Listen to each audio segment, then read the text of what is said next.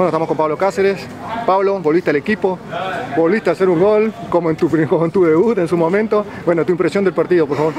Sí, no, fue un partido donde nosotros entramos dormidos ¿no? en la primera etapa, que estuvimos hablando que otro equipo no nos va a perdonar, así que salimos el segundo ajustando un poco la marca y, y bueno, se vio el resultado dentro de la cancha.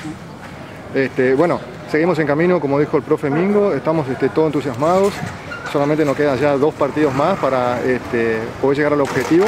Así que bueno, ¿cómo se sienten ustedes ahí adentro? ¿Cómo, cómo, lo, cómo lo charlan? ¿Cómo lo ven? No, nosotros partido tras partido, fíjate vos que nos ponemos más fuertes.